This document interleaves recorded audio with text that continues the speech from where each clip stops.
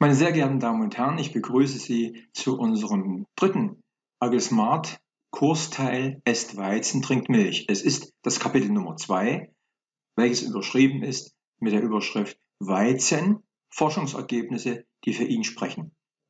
Bitte denken Sie daran, dass es sich am besten macht, wenn Sie die zuvorigen Beiträge, nämlich die Einleitung Kapitel 1, zuvor rezipieren und sich dann erst diesem Kapitel zuwenden. Aber Sie sind natürlich frei in Ihrer Vorgehensweise, gar keine Frage.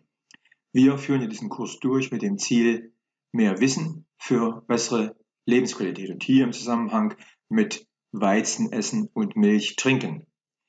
Ich muss schon sagen, der, das Kapitel 2, dieses vorzubereiten, hat mir große Freude bereitet, denn es wird konkret und man kann mit vielen Dingen, die in der Luft herumschwirren, äh, sagen wir mal, Klarheit schaffen oder zu vielen Dingen Klarheit schaffen aus der Literatur. Und wir haben zwei äh, Forschungsrichtungen, das habe ich angedeutet im Kapitel 1 am Ende. Einmal die Gegner des Glutens, also die nenne ich mal Glutengegner, und dann die Estweizen-Befürworter.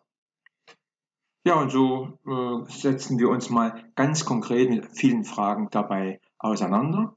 Ich möchte darauf hinweisen, dass Sie äh, unseren Haftungsausschluss auf medizinischem Gebiet hier wiederum unter dem Video sich öffnen können. Das ist ein PDF. Ich möchte auch darauf hinweisen, dass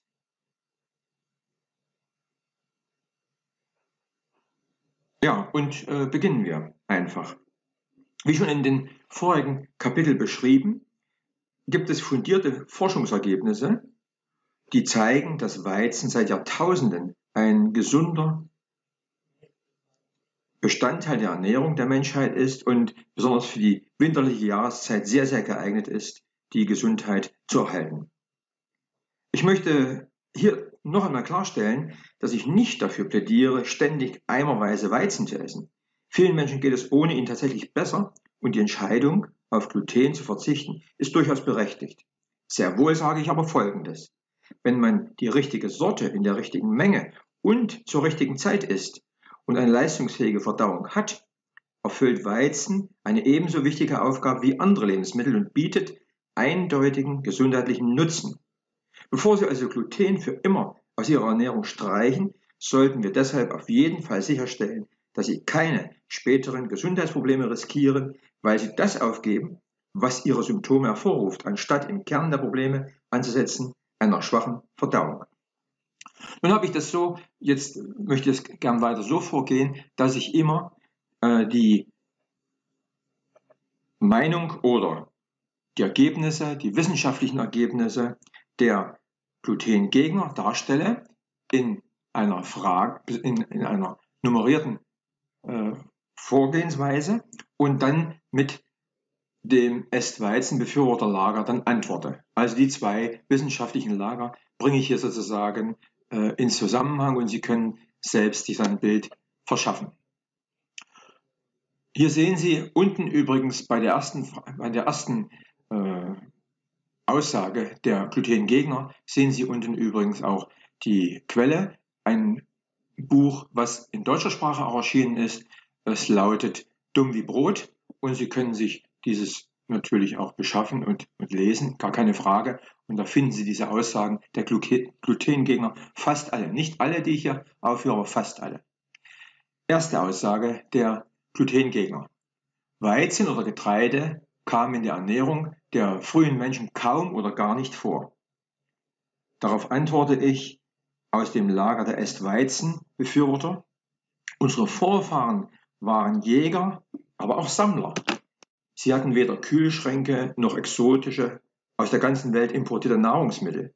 Sie aßen, was die Natur ihnen im Wechsel der Jahreszeiten lieferte. Zu den Schätzen der Natur, die unsere Vorfahren sammelten, gehörten je nach Jahreszeit Getreide, Wurzeln, Früchte, Gemüse und andere Kohlenhydratlieferanten als Grundnahrungsmittel.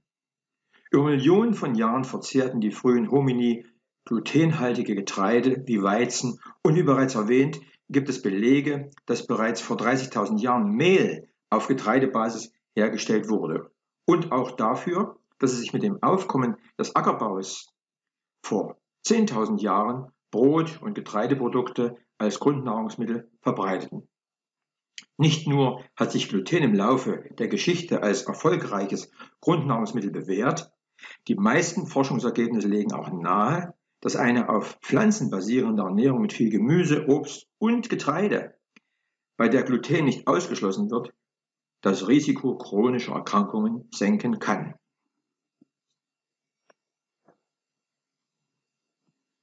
Kommen wir zur zweiten Aussage der, aus dem Lager der Glutengegner. Eine glutenfreie Ernährung fördert Immunität und Darmgesundheit. Meine Antwort aus dem Wissenschaftslager der Est-Weizen-Befürworter. Eine neuere Untersuchung, bei der zehn gesunde Erwachsene sich einen Monat lang glutenfrei ernährten, zeigte bei den Studienteilnehmern eine Verringerung der Zahl der nützlichen Darmbakterien und eine Zunahme der ungesunden Darmbakterien. Zudem wurde ein erhebliches Nachlassen der Immunfunktion beobachtet. Es stellte sich heraus, dass die Ballaststoffe und Kohlenhydrate in Getreide wie Weizen gesunde, in Anführungsstriche immunstärkende Mikroorganismen im Darm nähren. Würde Gluten aus der Ernährung gestrichen, so würde dies sogar zu einer Störung des empfindlichen mikrobiellen Milieus im Darm führen. Dieses hat sich vermutlich über Jahrmillionen des Weizenverzehrs entwickelt. Die nächste Aussage aus dem Lager der Glutengegner. Der Verzehr von Gluten führt zu Gewichtszunahme und Fettleibigkeit. Die Est-Weizen-Befürworter antworten darauf mit ihren Studien. Nach Aussage des Glutenexperten der Mayo Klinik, Dr. Murray, finden sich keine Belege dafür, dass eine glutenfreie Ernährung einen Gewichtsverlust bewirkt. Murray erklärt, dass die meisten Menschen, die sich glutenfrei ernähren, eher einfach insgesamt weniger essen und deswegen abnehmen. Eine weitere Studie der Harvard Medical School und anderer Einrichtungen, die im American Journal of Clinical Nutrition veröffentlicht wurde, ergab, dass Frauen, die mehr Vollkorngetreide aßen, ein geringeres Gewicht hatten als Frauen, die weniger Vollkorngetreide aßen. Gleichzeitig war bei den Frauen, die mehr Ballaststoffe aus Vollkorngetreide zu sich nahmen, die Wahrscheinlichkeit einer Gewichtszunahme um 49 Prozent geringer als bei Frauen, die mehr raffinierte Getreideprodukte aßen. Außerdem praktizieren viele der gesündesten Zivilisationen in aller Welt eine kohlenhydratbasierte Ernährung. Dazu gehören unter anderem die Jäger- und Sammlerkultur, der Hadza im Norden von Tansania, die Kuna in Panama, die Kitawa auf den pazifischen Inseln, die Tukisenta in Papua-Neuguinea, die Bewohner Okinawas und die Griechen. In manchen dieser Zivilisationen besteht eine Ernährung zu mehr als 69 Prozent, manchmal sogar zu 90 Prozent aus Kohlenhydraten. Dennoch sind die Menschen gesund und schlank und neurologische Krankheiten und andere moderne chronische Erkrankungen kommen praktisch nicht vor. Viele weitere Studien ergaben, dass ein höherer Konsum von Vollkorngetreide, einschließlich des glutenhaltigen Getreides, mit einem niedrigen Body Mass Index assoziiert ist.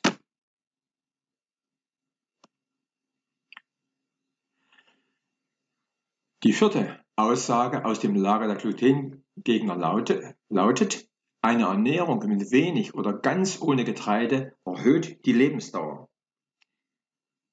Die Est-Weizen-Befürworter antworten mit ihren wissenschaftlichen Studien. Tatsächlich wurde nachgewiesen, dass eine Ernährung mit einem hohen Anteil von Vollkorngetreide, auch an glutenhaltigem Vollkorngetreide, sowohl die Lebensdauer insgesamt als auch die Herz-Kreislauf, das, die des Herz-Kreislauf-Systems erhöht, da sie uns gesund erhält. Darüber hinaus wurde eine Zahl, darüber hinaus wurde in zahlreichen Studien sogar nachgewiesen, dass eine kohlenhydratarme Ernährung die Lebensdauer senkt und unser Risiko für Störungen wie Herz-Kreislauf-Erkrankungen und Krebs erhöht.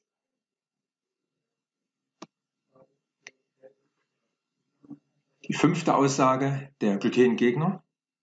Es besteht ein Zusammenhang zwischen dem Gluten und Kohlenhydraten einerseits und der Alzheimer-Erkrankung und Demenz andererseits. Und es ist gesünder, das Augenmerk auf eine fett- und eiweißreiche und kohlenhydratarme Ernährung zu legen. Die Esst-Weizen-Befürworter antworten darauf mit ihren Ergebnissen. Die entscheidenden Forschungen zu dieser These deuten darauf hin, dass ein hoher Blutzuckerspiegel, also nicht Weizen, ein Risikofaktor für Demenz ist, und zwar selbst bei Nicht-Diabetikern. Die Forschungen berichten auch, dass Zucker mit Alzheimer-Krankheit und Demenz assoziiert ist und nicht Weizen oder Getreide, wie von vielen Fachleuten unter den Glutengängern behauptet. Verarbeiteter Weizen bringt unzweifelhaft gewisse Probleme. Für Alzheimer und Demenz sollte allerdings nicht der Weizen verantwortlich gemacht werden, wenn die Forschung zu diesem Thema Zucker als den Risikofaktor identifizieren.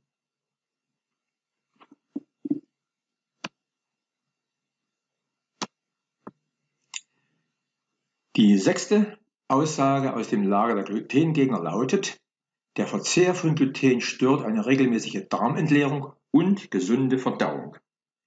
Die Esst-Weizen-Befürworter antworten mit ihren Ergebnissen.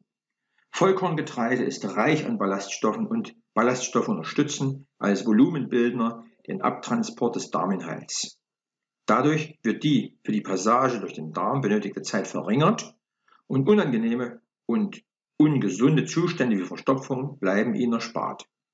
In einer Studie wurde nachgewiesen, dass ballaststoffreiche Weizenprodukte die Ausscheidung um 33 bis 36 Prozent steigerten. Dass Ballaststoffe eine gesunde und regelmäßige Verdauung fördern, ist allgemein bekannt und in seiner nicht raffinierten Form ist Weizen eine gute Ballaststoffquelle. Kommen wir zur siebenten Aussage im Rahmen unserer Gegenüberstellung aus dem Lager der Glutengegner. Die in Getreide enthaltene Phytinsäure kann Mineralstoffe binden und deren Aufnahme hemmen, was zu einem Mineralstoffmangel führen kann. Zudem kann die in Getreide enthaltene Phytinsäure unsere Verdauungsenzyme und damit unsere Verdauungsenergie verringern und gilt als Antinährstoff oder Nährwerthemmer. Die Esst-Weizen-Befürworter antworten darauf, Phytinsäure ist ungiftig und kann sich sogar positiv auf die Gesundheit auswirken. Sie enthält starke Antioxidantien, senkt nachweislich Blutzucker, Cholesterin, Insulin und Triglyceridspiegel und hemmt Entzündungen im Körper. Studien deuten darauf hin, dass Phytinsäure die Häufigkeit von Krebs, Herzerkrankungen, Fettleibigkeit Parkinson-Krankheit, Diabetes, Nierensteinbildung und anderen chronischen Krankheiten senken kann und sie stärkt nachweislich das Immunsystem. Nach Aussagen medizinischer Fachleute wird überschüssige Phytinsäure aus der Nahrung von Bakterien im Verdauungstrakt sicher verstoffwechselt. Interessant ist auch, dass die Wahrscheinlichkeit von Asthma im Kindesalter mit dem Verzehr größerer Mengen von Vollkorngetreide und, deren, und darin enthalten Phytinsäure um 54 Prozent sank. Wie wir in Kapitel 7 sehen werden, steigern der Verzehr von Sauerteigbrot und andere traditionelle Verfahren wie das Einweichen, Keimen und Fermentieren der Körner die Phytaseaktivität, die für Menschen mit einem empfindlichen Verdauungssystem die Phytinsäure aufspaltet. Kommen wir zur achten Aussage aus dem Lager der Glutengegner. Eine kohlenhydratarme Ernährung kann die Gesundheit von Herz und Gefäßen fördern. Die Esst-Weizen-Befürworter antworten darauf. Für kurze Zeit können sie möglicherweise ohne größere Mengen von Kohlenhydraten leben, ohne dass dies schädliche Auswirkungen auf die Gesundheit von Herz und Gefäß hat. Zahlreiche Studien haben jedoch gezeigt, dass Vollkorngetreide und damit eine Ernährung mit einem hohen Anteil an komplexen Kohlenhydraten unsere Herz- und Gefäßgesundheit intensiv unterstützt.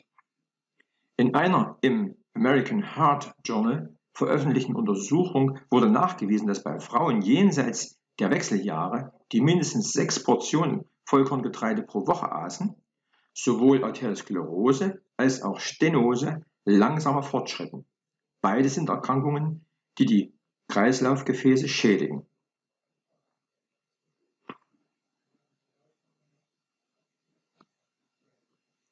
Die neunte Aussage der Glutengegner lautet, Gluten und Kohlenhydrate fördern das Blutkrebs, das, das Brustkrebsrisiko. Ich wiederhole, die Glutengegner sagen, Gluten und Kohlenhydrate fördern das Brustkrebsrisiko.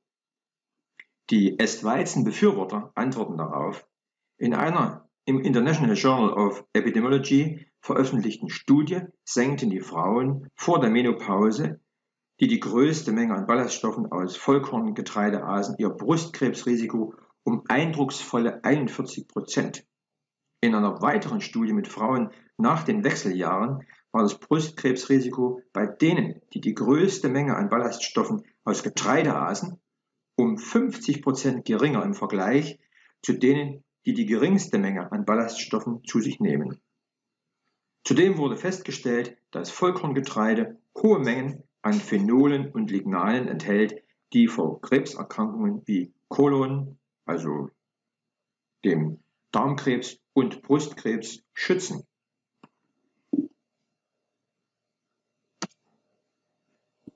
Kommen wir zur nächsten Aussage der Glutengegner. Es besteht ein Zusammenhang zwischen dem Verzehr von Gluten und Diabetes.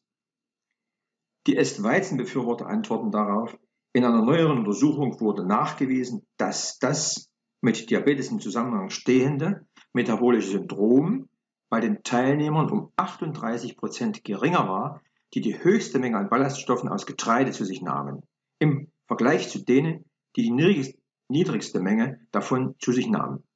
Zudem zeigten Forschungsergebnisse, dass Ernährungsformen mit hohem Vollkorngetreideanteil mit einem um 31 Prozent geringeren Risiko für Typ-2-Diabetes assoziiert waren.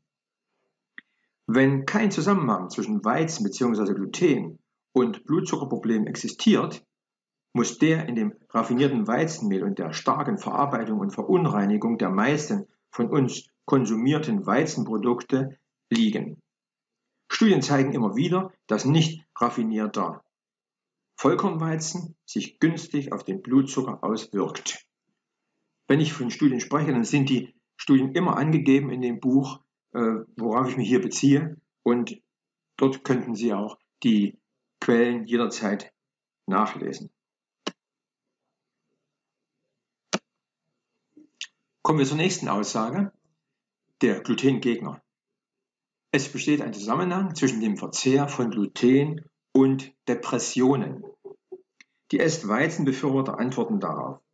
Ernährungsweisen wie die Mittelmeerdiät, die reich an pflanzlichen Lebensmitteln einschließlich Vollkorngetreide ist, gelten ebenso wie der Verzehr von Vollkorn, Cerealin als ideale Diät zur Vorbeugung gegen Depressionen. Der wahre Schuldige bei der sogenannten glutenbedingten Depression, das in Anführungsstrichen glutenbedingte Depression, ist aber Wahrscheinlichkeit nach der übermäßige Verzehr von Produkten aus stark verarbeitetem Weißmehl und eine Verstopfung der Lymphgefäße, die Abfallstoffe aus dem Gehirn abtransportieren. Unvollständig verdautes Gluten kann durch den Darm in die Lymphe übergehen und eine Verstopfung der Lymphgefäße verursachen. Kürzlich wurde im Gehirn wurde entdeckt, dass äh, im Gehirn Lymphgefäße bestehen, die Depressionen verursachen können, wenn sie verstopfen. Noch bis vor kurzem wurde angenommen, dass sich im Gehirn gar keine Lymphe befinden. Inzwischen wird ein Lymphstau im Gehirn mit den verschiedensten psychischen Erkrankungen und mit Entzündungen in Verbindung gebracht. Wie wir in den Kapiteln 4 und 9 sehen werden, kann unverdautes Gluten durch den Darm nach außen dringen und die meisten glutenbedingten Symptome hervorrufen. Die nächste Aussage aus dem Lager der Glutengänger lautet, es besteht ein Zusammenhang zwischen dem Verzehr von Gluten und einer Verschlimmerung von Autismus-Symptomen. Die Est-Weizen-Befürworter antworten mit ihren Studien dagegen. In einigen Studien wurde festgestellt, dass Gluten in Wirklichkeit keinerlei Auswirkungen auf Menschen mit Autismus hat und keines ihrer Symptome verschlimmerte. Andere Studien ergaben, dass Gluten sich auf manche, aber nicht auf alle Probanden mit Autismus auswirkte, was darauf schließen lässt, dass es unterschiedliche Untergruppen im Autismusspektrum gibt, die jeweils unterschiedlich auf Gluten reagieren. Die nächste Aussage aus dem Lager der Glutengegner. Es besteht ein Zusammenhang zwischen dem Verzehr von Gluten und Schizophrenie. Darauf antworten die Est-Weizen-Befürworter. Tatsächlich hat die Forschung Belege dafür geliefert, dass Gluten keine statistisch signifikante Wirkung bei Menschen mit Schizophrenie hat. So wurde beispielsweise in einer Studie, bei der schizophrene Teilnehmer Gluten zu sich nahmen, im Vergleich zur Placebo-Gruppe weder eine Verschlechterung des klinischen Zustands noch eine messbare Entzündungsreaktion beobachtet.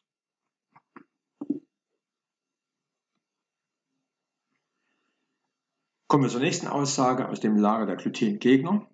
Gluten wird mit, dem, Gluten wird mit der Zunahme von Angstzuständen assoziiert. Die Est-Weizen-Befürworter bringen ihre Position wie folgt. Der Verzehr von Vollkorngetreide, auch solchem, das Gluten enthält, wirkt sogar nachweislich vorbeugend gegen Angstzustände. Tatsächlich wurde beobachtet, dass eine Umstellung auf die Mittelmeerdiät mit ihrem hohen Vollkornanteil sich positiv auf die Gesamtverfassung und Stimmungslage auswirkt. Auch hier liegen die entsprechenden Studien in Quellennachweis des Buches vor. Nächste Aussage aus dem Lager der Glutengegner.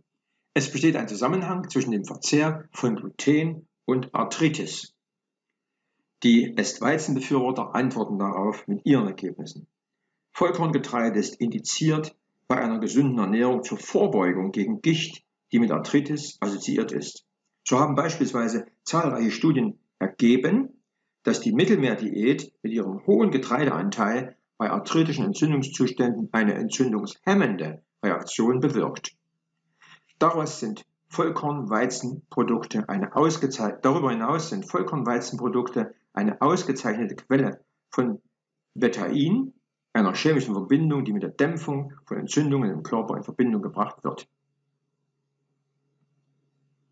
Nächste Aussage der Glutengegner. Gluten kann unfruchtbar machen. Die Est-Weizen-Befürworter dazu. In einer Studie half die Mittelmeerdiät mit ihrem hohen Getreideanteil Paaren bei der Befruchtung durch In-vitro-Fertilisation bzw. anderen Möglichkeiten sehr gut. Andere Forschungen zeigten, dass Frauen mit Zöliakie, einer extremen Form der Glutensensitivität, keine größeren Fruchtbarkeitsprobleme haben als der Rest der Bevölkerung. Neue Forschungen haben gezeigt, dass es Lymphsysteme gibt, die in die Fortpflanzungsorgane ableiten. Bisher sind mir zwar keine Untersuchungen bekannt, die einen Zusammenhang zwischen Lymphstauung und Unfruchtbarkeit nachweisen, aber es würde einleuchten, dass verstopfte Lymphkanäle die Abfallstoffe nicht ausreichend aus den Fortpflanzungsorganen ableiten und möglicherweise bei empfängniswilligen Paaren Komplikationen verursachen. Diese Lymphstrukturen wurden erst vor kurzem entdeckt und es wird noch einige Zeit vergehen, bis wir in die Rolle der Lymphe und ihre Beziehung zur Unfruchtbarkeit und zum Krankheitsprozess wirklich verstehen. So, das sind nun 16 Aussagen gewesen aus dem Lager der Glutengegner und Aussagen dazu jeweils immer aus dem Lager der Est-Weizenbefürworter.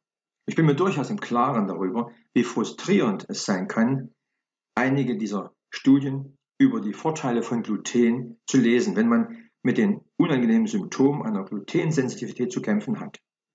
Vielleicht sind Sie immer noch überzeugt, dass Gluten ungesund ist. Ich bezweifle nicht, dass Sie sich tatsächlich besser fühlen und vielleicht sogar unerwünschte Funde verlieren, wenn Sie aufhören, Gluten, Milchprodukte und andere schwerverdauliche Lebensmittel essen. Ganz offensichtlich gibt es wissenschaftliche Argumente für beide Seiten der Kontroverse. Und um das noch einmal zu wiederholen, es ist nicht mein Ziel, unbedingt Weizen, Milchprodukte wieder in ihre Ernährung einzuführen. Wenn allerdings eine schwache Verdauung die Ursache ihrer Empfindlichkeit gegen Weizen und Milchprodukte ist, sollte im Interesse ihrer langfristigen Gesundheit diese Schwäche angegangen werden.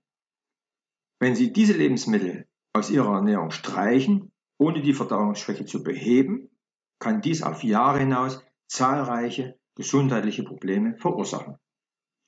Soweit also jetzt heute einmal zu der Auseinandersetzung Glutengegner gegenüber den Est-Weizen-Befürwortern. Und im Kapitel 3 werden wir dann sehen, was die Milchbefürworter, also die Milchbefürworter und die Milchgegner auf diesem Gebiet zu sagen haben.